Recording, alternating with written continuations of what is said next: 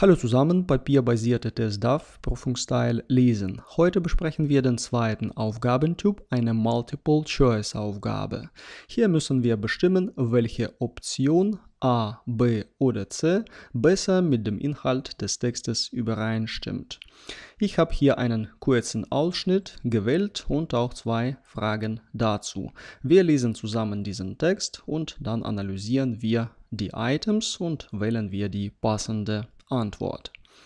Der Traum eines jeden Studenten, kurz vor der Prüfung eine Pille schlucken und schon ist die Höchstpunktzahl in der Klausur garantiert. Ganz so einfach ist es zwar noch nicht, aber Pillen, die ein besseres Gedächtnis und eine erhöhte Konzentrations- und Leistungsfähigkeit in Stresssituationen wie Prüfungen versprechen, werden schon lange von der Pharmaindustrie angeboten. Die Einnahme leistungssteigender Substanzen ist längst nicht mehr auf den Bereich der körperlichen Fitness beschränkt. Vor allem in den USA greifen auch Schüler und Studierende zu Pillen, um in Ausbildung und Beruf voranzukommen. Es wird befürchtet, dass dieser Trend auch auf Deutschland übergreift, weil auch hier der Kampf um gute Noten und die Konkurrenz um Arbeits- und Ausbildungsplätze härter wird. Das war der Text. Na, verständlich, das Thema ist vertraut, nichts Unbekanntes, keine Physik, keine Klima, äh, klimabezogenen Themen. Ja, aber ja, das ist mehr oder weniger verständlich. Checken wir, ob auch die Fragen so verständlich sind. Substanzen, die die Leistung steigern. A. Vermindern den Stress. B. Verbessern Prüfungsergebnisse. Und C. Gibt es auch für intellektuelle Aufgaben. Suchen wir nach Schlüsselwörtern. Substanzen, Leistung steigern, vermindern Stress verbessern Prüfungsergebnisse und gibt es intellektuelle Aufgaben. Suchen wir nach den Schlüsselwörtern in diesem Text. Mm, die Pillen, die ein besseres Gedächtnis, erhöhte Konzentration, Konzentrations- und Leistungsfähigkeit in Stresssituationen wie Prüfungen versprechen, schon lange Pharmaindustrie angeboten. Ja, und, und, und. Was noch? Höchstpunktzahl in der Klausur garantiert. Ja, es scheint hier, dass B passend wäre, aber weiter haben wir den nächsten Satz. Ganz so einfach ist es zwar noch nicht. Hier steht, kurz vor der Prüfung eine Pille schlucken und schon ist die Höchstpunktzahl in der Klausur garantiert. Nein, leider ist es nicht so. Also wir können die Option B sofort ausschließen. Automatisch können diese Substanzen die Prüfungsergebnisse nicht verbessern. Aber sie können die Leistung steigern. Können sie den Stress vermindern? Antwort A scheint auch logisch zu sein. Vermindern den Stress. Okay, und hier steht Leistungsfähigkeit in Stresssituationen wie Prüfungen versprechen. Okay, diese Substanzen können Leistungsfähigkeit in Stresssituationen versprechen. Aber ob sie Stress vermindern können, keine Informationen. Deswegen können wir A auch ausschließen. Nun finden wir die Bestätigung für die Antwort C. Substanzen, die die Leistung steigern, gibt es auch für intellektuelle Aufgaben.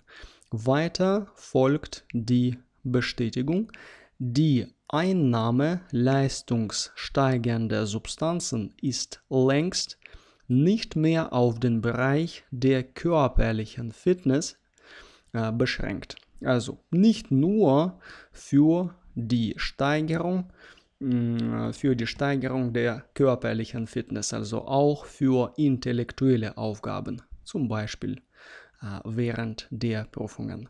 Option C scheint hier plausibel zu sein. Wählen wir.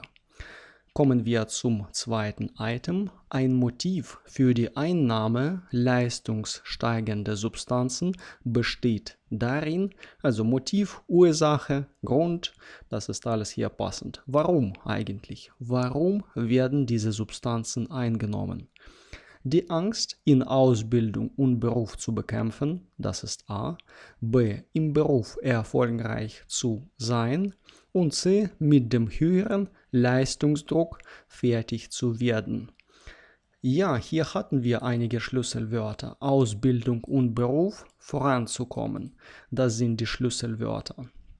Und hier steht äh, also Angst bekämpfen. Hier geht es nicht um Angst, hier geht es um dieses Wort hier voranzukommen.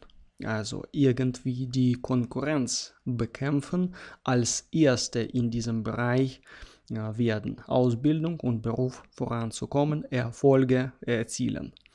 Im Beruf erfolgreich zu sein, ja, das können wir schon markieren und mit dem höheren Leistungsdruck fertig zu werden. Also Motiv. Was ist die Motivation eigentlich für die Einnahme leistungssteigender Substanzen? Worin besteht äh, diese Motivation? Äh, weiter noch ein bisschen. Es wird befürchtet, dass dieser Trend auch auf Deutschland übergreift, weil auch hier der Kampf um gute Noten und die Konkurrenz um Arbeits- und Ausbildungsplätze härter wird. Ja, tatsächlich also Kampf, Konkurrenz, Arbeitsplätze, Ausbildungsplätze härter wird. Angst wird hier nicht besprochen. Kampf, Konkurrenz werden hier besprochen. Hm, Angst in Ausbildung und Beruf? Nein, wir können äh, diese Option ausschließen, passt nicht. Im Beruf erfolgreich zu sein, voranzukommen, das ist eigentlich synonymisch hier.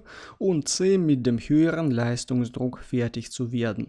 Hier haben wir keine Information über den Leistungsdruck auf der Arbeit oder auch ähm, in der Ausbildung keine Informationen dazu. Wir streichen aus und dann bleiben wir bei dieser Option. Checken wir noch einmal, ob das auch im Text steht. Ein Motiv für die Einnahme leistungssteigender Substanzen besteht darin, im Beruf erfolgreich zu sein. Vor allem, also das ist die Ursache, greifen auch Schüler und Studierende zu Pillen, um voranzukommen. Das ist das Ziel. Also warum nehmen sie diese Substanzen? Um in Ausbildung und Beruf voranzukommen. Okay, Ausbildung steht hier nicht, aber Beruf steht hier. Und Ausbildung, das ist auch etwas Praktisches. So können wir das auch verallgemeinern und diese Option auswählen. Erste, erstes Item, also C, gibt es auch für intellektuelle Aufgaben. Und die Situation in den USA bestätigt das auch. Die Schüler und Studierende und die Studierenden greifen auch zu Pillen um im Beruf erfolgreich zu sein. Das war also unsere kurze Analyse von diesem Abschnitt und von diesen zwei Items. Na, hoffentlich haben Sie für sich was Hilfreiches entnommen.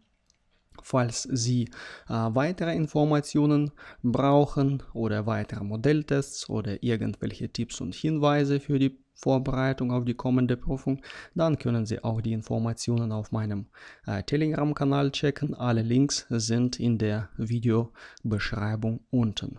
Hiermit verbleibe ich mit den freundlichen Grüßen. Wir sehen uns in den nächsten Videos. Bis dann, tschüss.